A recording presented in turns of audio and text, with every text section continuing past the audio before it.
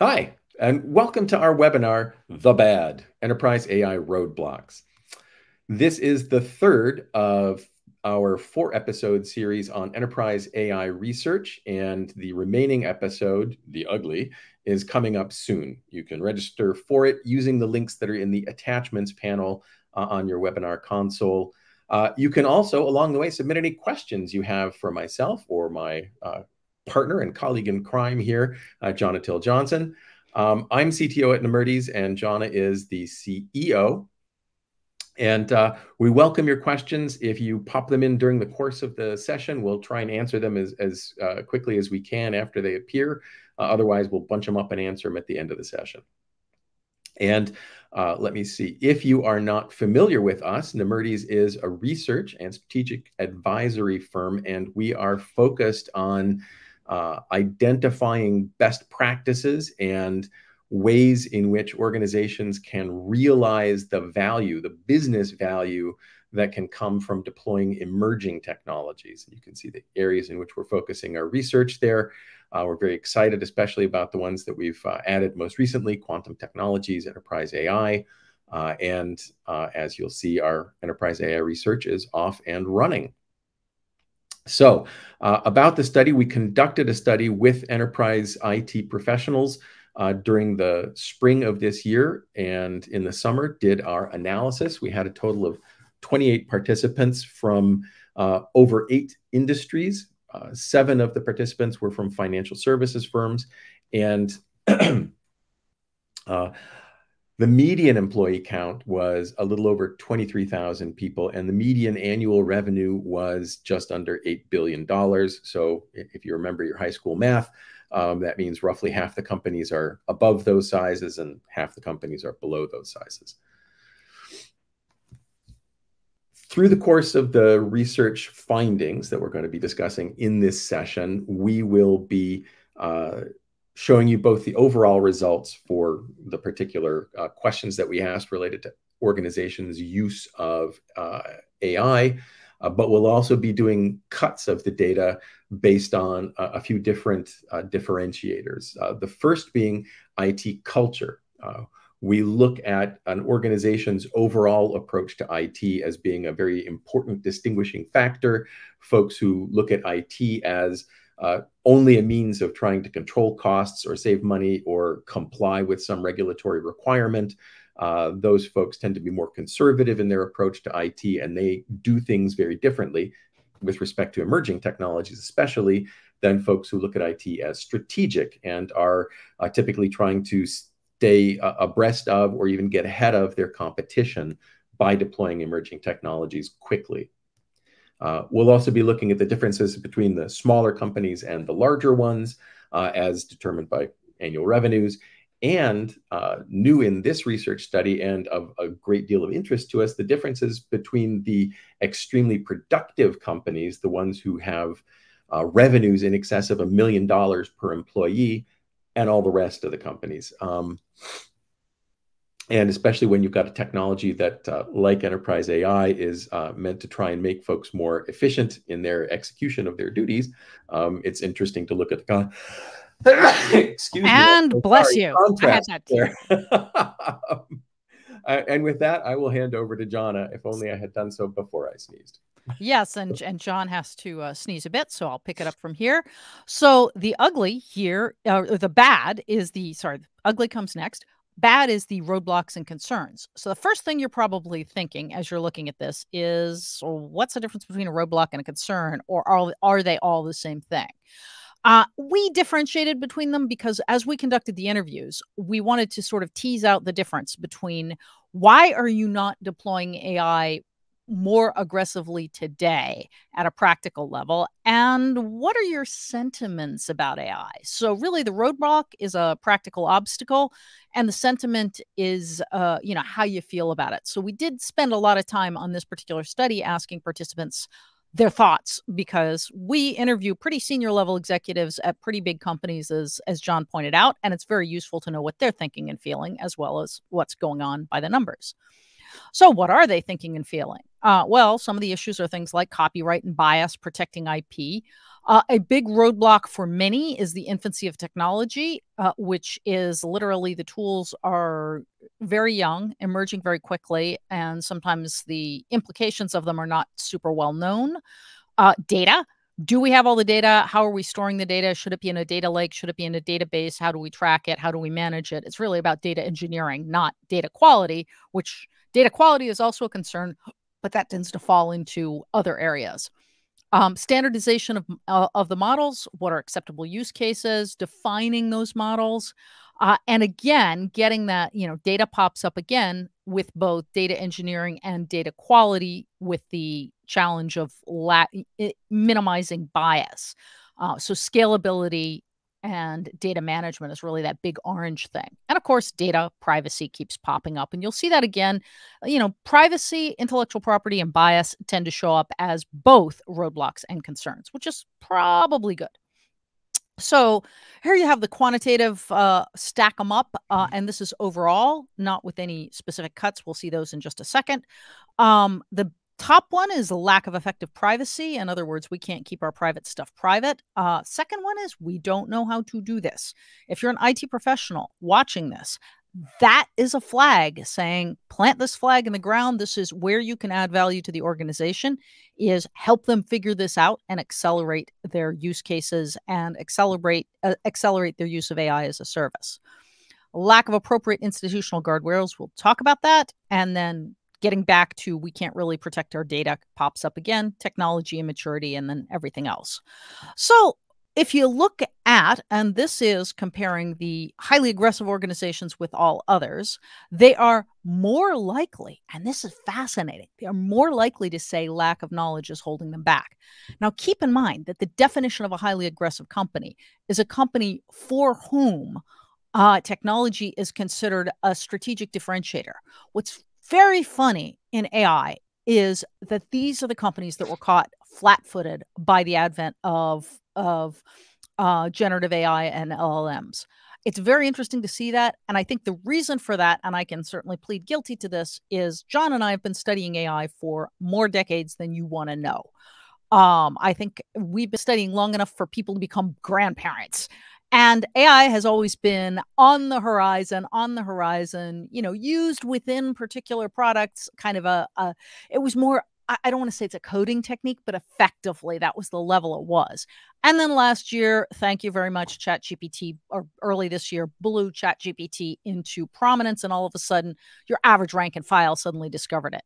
So aggressive organizations were probably doing the same thing we did. They'd been keeping tabs on it for 20, 30, 40, 50 years. Uh, they didn't actually anticipate that 2023 would be the year it popped up, and now they're like struggling. Um, interestingly enough, more conservative companies, it's kind of the same. Really, this is interesting because conservative companies are the ones that have guardrails and roadblocks or guardrails and institutional guidance for using technology, and yet they're worried about the lack of it here. So it's kind of counterintuitive, and that's the fun of AI. Uh, if you then look at the uh, larger companies, interestingly enough, they're more concerned about um, th- they are a lot more concerned about the institutional guardrails. There's a reason for that. There is a pretty high overlap between financial firms and large firms, and they are also much more concerned about data protection uh, and privacy. Uh, and that all makes sense because large companies tend to have had those concern those concerns drummed into them, and therefore they perceive them as roadblocks. Last but not least, if you look at where the highly productive companies are have have uh, roadblocks, it's not having the guardrails, it's lack of knowledge and lack of effective privacy, um, and that's actually quite interesting as well. So, John, what have we found with roadblocks? that overall, the top roadblocks to actually rolling out AI in production or to rolling it out further or faster. So things that are really uh, getting in the way uh, are inadequate provisions for protecting privacy. And understand that that's both uh, privacy and intellectual property. We, we split the two apart because although they're significant overlap, you're not protecting the data. Um, they are separate concerns. You're not protecting the privacy of our customers, our clients, uh, if somebody asks the chat bot the wrong question, will they get data they're not supposed to see. And you're not protecting our intellectual property enough. If somebody asks the chatbot the wrong questions, uh, will they understand uh, our stock picking algorithms in ways that they're not supposed to?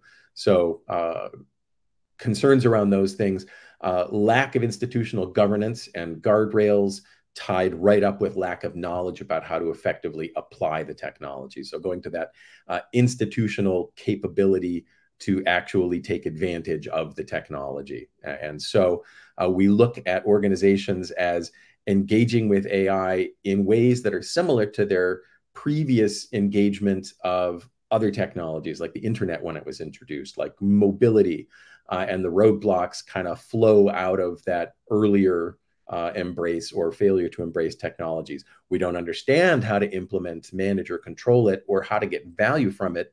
So we're not going to go there yet. Uh, and honestly, organizations are right to treat this as something with a similarly radical, transformative potential um, but that should be getting them to really, you know, dig their heels in and move, you know, jump forward, not dig their heels in as in dragging their heels to slow everything down. So, uh, as distinct from roadblocks, we did ask folks about their concerns about AI. So, uh, even if they're pressing ahead with this, even if their their staff are using AI in different ways, or they are at a corporate level uh, uh, making it part of the strategic technological direction, um, that doesn't mean that all of their address uh, concerns have been addressed. And so, uh, you know, we see up in that upper left corner the the sorcerer's apprentice problem, the idea that we'll be able to do things, uh, damaging things much more quickly than we could before. Uh, and we'll have legal, ethical, privacy concerns that we didn't have when we were just talking about scripts to manage the network for us and um, there's sort of a public trust issue involved. Uh, folks worried about getting out too far ahead of what their customers or clients are doing, um, and uh, the idea that uh, we're pushing ahead faster than the social governance framework, uh, laws and regulations can keep up. Uh, the idea that data accuracy issues are going to make it hard to trust the data. And we see that uh, continuing to uh, be um, manifest in you know the, the public stories that we see about AI. Uh, people putting together those the legal brief and finding out that half the citations in it are fake. It, it's a problem, and it does make it hard to trust uh, what comes out of the AI in the end. And uh, the idea that it's still dependent on people to correct it, uh, and that it's um, not going to be doing things better than us necessarily, at least not for a while yet. And so instead, we're going to be doing things that um, are, are, better than what we can do with AI. And AI, we're going to need to bring along for the ride. So overall, uh, as I said, top concern privacy. Uh, privacy of uh, customer data, privacy of client data, and uh, related to that, uh, the security of the systems involved and whether data that's supposed to be confidential can be uh, stolen, basically using the AI as a conduit. Folks are worried about poor data quality and bias in the data, as well as bias in the algorithms that have been trained on the data. So, some huge concerns about AI that are kind of across the board for verticals, across the board for types of companies. But when you start to dig in, you'll see that uh, the aggressive companies are more likely to be concerned about things like scalability, more likely to be concerned about things like uh, opacity, the lack of transparency in the AI itself. And they really like to understand how the tools they're using work. So they, they are uh, not moving as aggressively uh, as they normally would. Uh, where you see the more conservative companies more worried, significantly more worried about uh, data being stolen, about poor data quality. And uh, it's interesting then tracking that through to the large companies and seeing that the large companies uh, are significantly more likely, inverting the previous one, to be more concerned about data exfiltration, to be more concerned about poor data quality uh, than the smaller companies. Uh, they're even more likely to be concerned about privacy, but less likely to be concerned about bias, which is kind of a, an outlier here. so we'll see that uh, more productive companies, uh, again, tend to be less concerned about some of the big bread and butter issues like uh, security and data quality, but more concerned about things like regulatory ina- inadequacies and lack of model transparencies. Uh, these folks are very attuned to using automations to uh, help them be so productive, uh, so much more productive than their their uh, peers, uh, and not being able to see what's going on under the hood, uh, and not being sure if it's going to be keeping them uh, within the bounds of the law. Those are both things that are highly concerning to them, uh, more so than uh, to other folks. Oh, and so John, back over to you. I, I will take it away. I'm not going to go ahead and read the top bullet items. I'm really just going to focus on the takeaway here because what we're really seeing is that AI serves as a bit of a Rorschach test for organizations. And what I mean by that is all of us bring to the unknown uh, our experience with the formerly unknown, now known. So, for example, um, aggressive and productive organizations tend to worry more about the sorcerer's apprentice because those are the kinds of companies that have, through their aggressive use of technology and their focus, as John said, on automation, they've run into this. So they, if they haven't already had a sorcerer's apprentice issue, they've come very, very close. So they're wor- they're justifiably worried about it. Meanwhile, um, larger organizations are worried about having to lay off employees. This is something that that we'll talk about in the next episode of the series, uh, and other other areas like that. So, in other words, AI causes organizations to worry about the worst experiences they've had because they look at this and say, "We've gone through a bunch of technology transformations in the you know in the past several years and decades. We know what can go wrong, and gosh, all of them seem to apply to AI, and they're not wrong." Uh, you know, we have a note that they're failing to face up to the transformative potential. Honestly, I don't think anybody's really failing to face up to it. I think the the the big issue is when we ask them about their concerns, this is what they told us. So, alongside the possibility for transformation are these concerns. Uh, I think this is super justified because several years ago, one of my leading edge clients asked me, Johna, what are other companies doing around the area of digital ethics? So my response was, well, what do you mean by digital ethics? And together we hammered out this definition that di- digital ethics is a set of policies and associated processes to manage the use of AI within an organization, but not just AI, but certainly in this application, AI. And that includes everything from privacy protection to bias to general ethical behavior. What digital ethics really means is sitting down and hammering out what is not just what is and isn't permitted, which is what everyone wants to jump to. Oh, we're banning ChatGPT, therefore we have digital ethics. No, no, no. You got to decide what are employees allowed to do what are employees not allowed to do what uh, what information can be gathered and cannot be gathered what information can be released and cannot be released. In fact what is ethical behavior?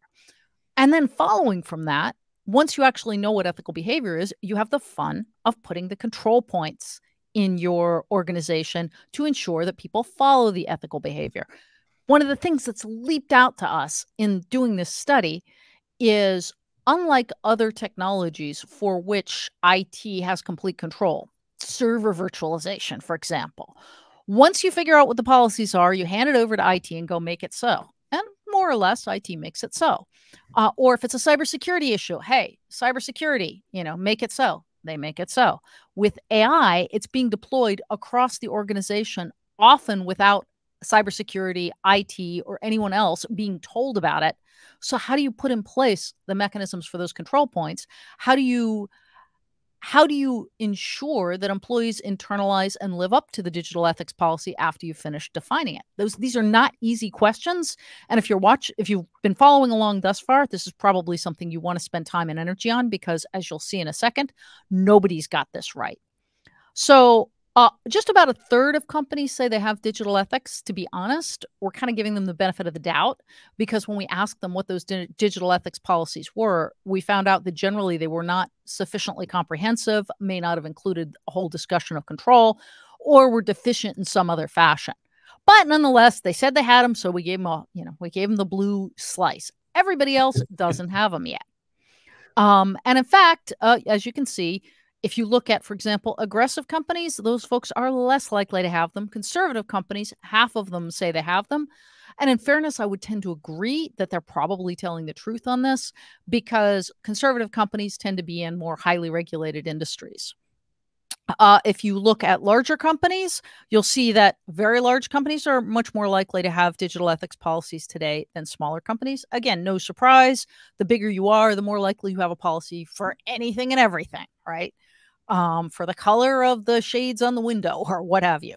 Um, but still, you're still running it under half. And that's kind of the main point. Here, uh, highly productive companies, fully half of them say that they have a digital ethics policy. Again, I would argue that in many cases, these policies are actually highly deficient. Uh, they're just sort of the bare minimum because that's what highly productive companies tend to get along with is the bare minimum. Um, but nevertheless, there you have it. Speaking about banning ChatGPT, a big question at the start of the, of the summer was, "Oh, everybody's past the hype cycle on on ChatGPT, and everybody's going to ban it." Uh, no, they aren't. so, um, just 25% of or percent of organizations said they were planning to do it. Uh, another 18% said they hadn't decided, but the majority said they weren't. And if you look at this, um, conservative companies are more likely, uh, aggressive companies are much more likely to say, no, of course we're not going to ban it. Uh, again, large companies are more likely to say no. Um, and uh, productive companies are actually uh, a little bit less likely to say yes, a little bit less likely to say no, and a lot more likely to say we're not sure yet because we haven't gotten around to looking at it because we are very disciplined with how we use our time, and that has that is not a question we have allowed ourselves to consider yet.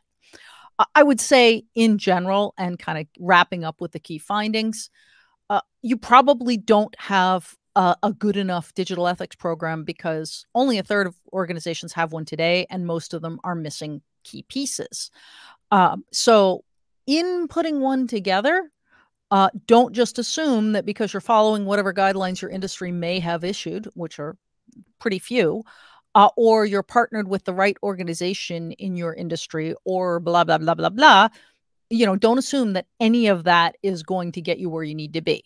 You want to sit down and, and ask yourselves and senior executives, like, literally reach out to the head of legal, reach out to the head of risk, reach out to the head of compliance, and say, guys, gals, who are we and what do we want to be when we grow up? And what is our policy? What do we consider protected? What do we consider private? What cannot be released into the wild? What is shouldn't be released into the wild, but we're not going to, you know, have to tell our shareholders if it happens.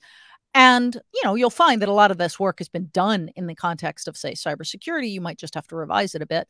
And then also ask questions like, um, how are what how are we protecting against bias and how is that getting enforced? Because again, you'll see that the biggest use of AI is within the lines of business, outside of the control of IT, outside of the control of cybersecurity. So it's a very interesting question how you enforce all of this.